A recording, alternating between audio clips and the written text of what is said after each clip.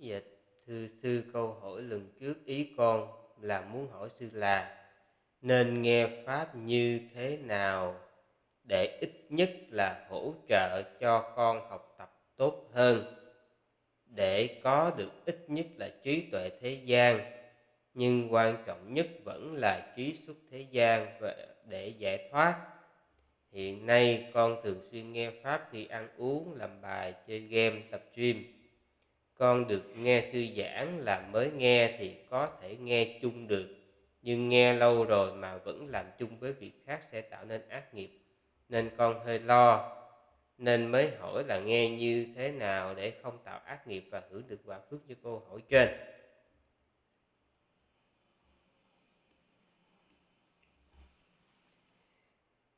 Cái việc mà sư mong mỏi quý vị đạt được, đó chính là sự tôn trọng pháp khi mà mình tôn trọng pháp rồi đó thì à, mình sẽ có những hành xử hợp lẽ.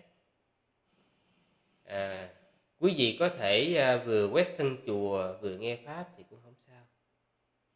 À, thậm chí là như sư nói quý vị sinh hoạt hàng ngày mình nghe pháp thì cũng không sao. Tại vì thay vì á mình nghe nhạc thì mình nghe pháp thì cái chuyện nghe pháp đó nó hơn việc nghe nhạc nhưng nếu như mình muốn đạt được sự lợi ích á, thì mình phải tập trung.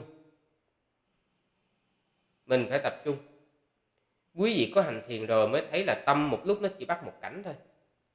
Mà khi mình để mình bắt hai cảnh liên tục như vậy thì tâm mình nó bị tán loạn.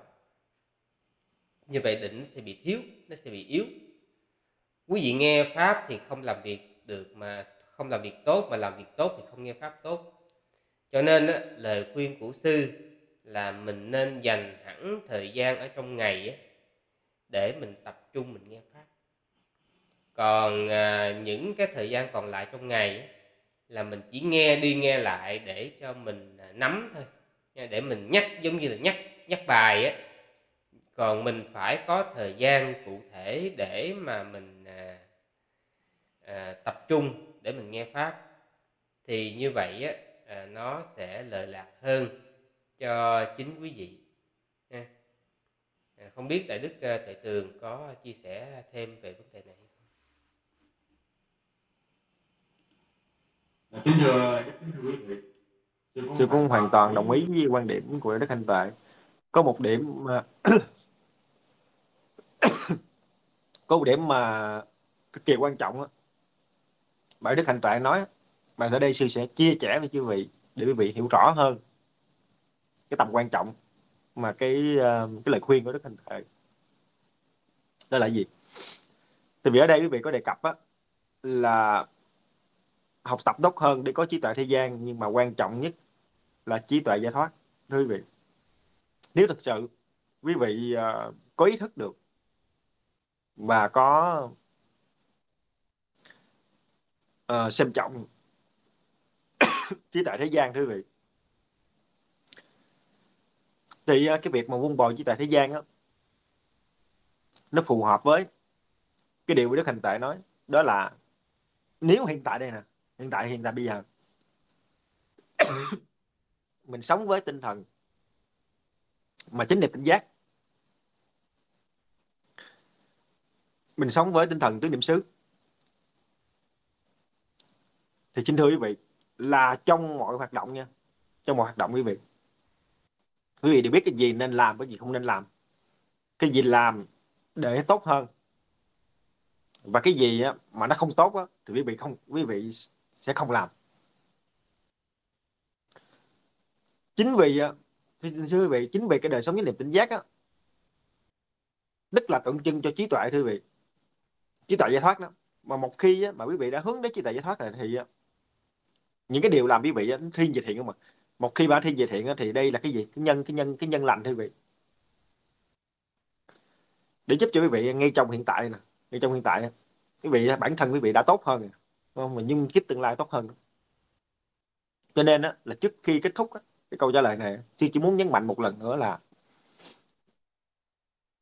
nếu thật sự quan trọng trí tuệ xuất thế gian hay là trí tuệ giải thoát đó, thì mình hãy vun bồi nó vun bồi nó và hãy sống từng giây từng phút với đời sống chánh niệm tinh giác sống với đời sống tứ niệm xứ thì mình sẽ hiểu và mình sẽ có được cái gọi là quý vị nói nè có gọi là được cái cái gọi là học tập tốt hơn và um, ít nhất là trí tại thế gian như quý vị mong muốn. Đó là cái điều mà cái điều bắt buộc thưa quý vị. Tại vì quý vị nếu mà không làm điều này á mà quý vị cho dù quý vị có thông minh không có trí tại thế gian đi. Bởi vì uh, thấy đó thấy như các nhà khoa học đó, họ rất là thông minh trí tại thế gian đúng không? Giống như ông mà chế ra cái khẩu AK quý vị công ông người Nga chế khẩu AK quý vị thấy không thông minh nhưng mà sao? Lại tạo ra cái ác nghiệp rất là ghê còn khiến cũng biết mình chung sanh là chết. Rồi cái ông ờ, uh, ấp bành 2M là cái ông uh, chùa cái ông mà uh, chủ dự án của ờ, chế tạo bom nguyên tử thôi vị. Cuối đời hai công này là rất là hối hận khi mà ông gieo rắc cái cái cái khổ đau chúng sanh. Đó, mà mặc dù hai cái này hai nhà khoa học rất là giỏi, đó cho nên là quý vị phải phân định rõ cái điều này. Để thì nói nhấn mạnh để cho quý vị biết đời sống chánh niệm tinh giác quan trọng thế nào. Và cũng xin kết thúc.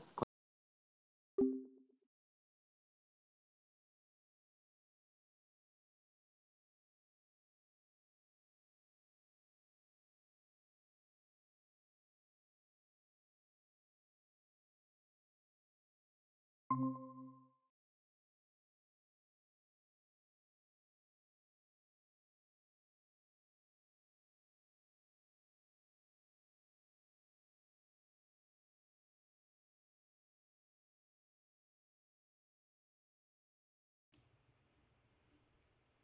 xin thưa quý vị.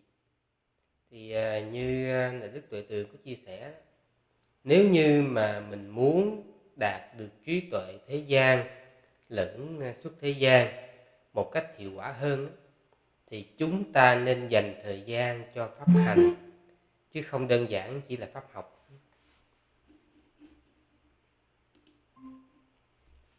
À, pháp học á nếu như mà thuần túy là pháp học không thôi thì ờ, sẽ đem lại cái lợi lạc chắc chắn là có nhưng mà nó chưa có hoàn chỉnh nó sẽ còn hạn chế mà nếu như chúng ta muốn đạt được sự lợi lạc nhiều hơn thì chúng ta cần phải suy tư về pháp hành cần phải thực hành. À, thì nhờ như vậy đó quý vị mới gieo được cái à, cái nhân và cái nhân trí tuệ thế gian và trí tuệ xuất thế gian. Cũng giống như á, một người xem à, à, xem võ thuật thì họ chỉ là mở mang kiến thức thôi. Nhưng nó sẽ không giống như là một người mà họ tập võ. À, thành ra một người mà à, xem võ thuật thì ra đường gặp một số cái vấn đề thì căn bản nếu mà nhỏ nhặt thì họ có thể áp dụng được. Xài được coi riết nó nhiễm xài được. Nhưng mà một số vấn đề khác nó đòi hỏi nó hơn tí xíu thì phải thực hành. Cho nên là quay trở lại vấn đề thì vẫn nên thực hành. Chỉ có thực hành thì chúng ta mới thấm được cái mà chúng ta nghe, cái chúng ta học. Và siêu qua câu hỏi tiếp theo. Ừ.